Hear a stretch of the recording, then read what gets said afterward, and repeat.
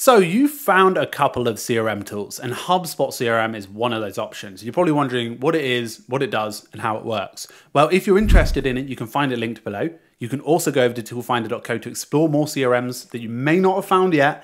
But let me explain HubSpot CRM very simply. So basically, it's a CRM tool. It'll track your conversations, emails, calls, and even texts in one CRM platform. Now, that's really helpful because you want to be able to house everything in one location and then you want to be able to see how those relationships are moving forward, whether that's a client or a customer. And managing that is incredibly helpful. But it also has additional experiences marketing and sales in particular, allowing you to add everything from a content management system to a uh, email platform on top of it to help you communicate with customers. So it's an incredibly powerful tool and is sort of like a behemoth in the productivity slash workspace space.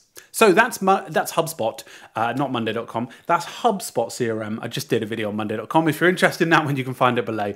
Uh, that's HubSpotCRM.com.